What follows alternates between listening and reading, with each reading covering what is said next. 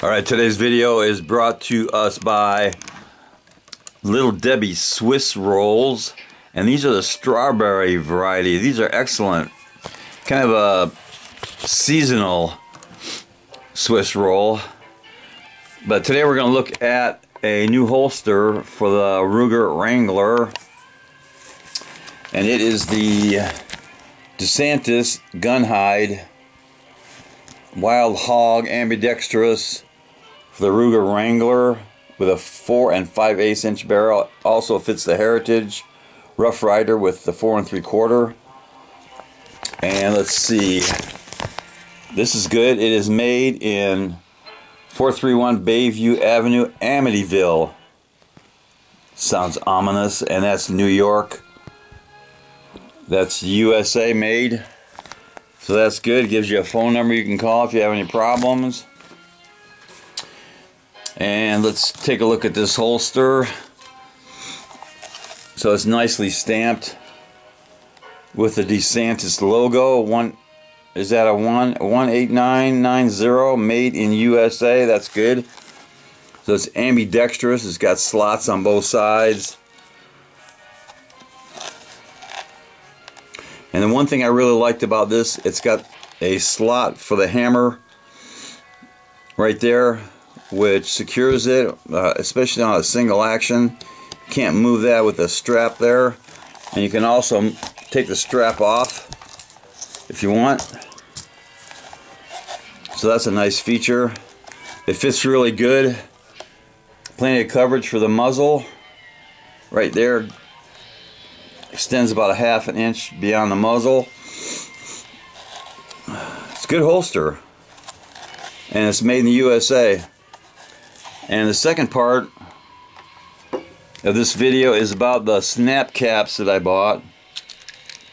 I bought a bunch of these uh, snap caps from, let's see, I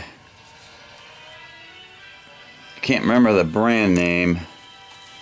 Oh yeah, they're Pachmayr, Pachmayr snap caps.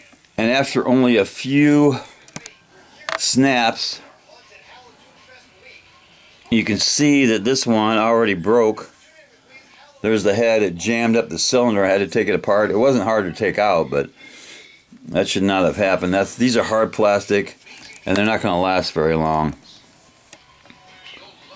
So these Pachmayr snap caps are pretty useless. I'm just going to get some metal ones. And the other part of this video is about the number 10.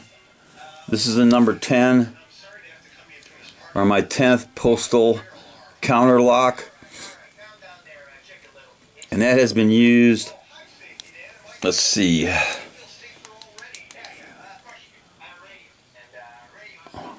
Oh yeah this has only been turned 89 times. So it's very pretty unused. And it's an older one because it's got that star stamp on the shackle pretty abused. It's got a lot of uh, dents and dings in it, but they throw these things around a lot. I'm only going to open this, probably keep it under 100. But let's see if I can get into this really fast.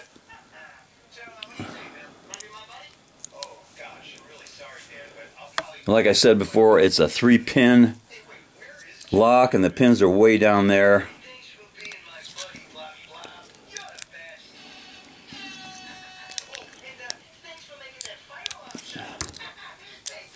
And that is open already.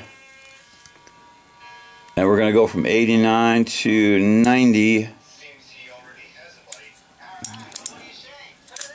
so that is number 10 of my postal locks. And I don't have a key yet for these but I think I might have found one. So that might be a video. So yeah I'm enthusiastic about this holster and 10 made in USA postal registered locks. Definitely worthy of a little bit of cowbell.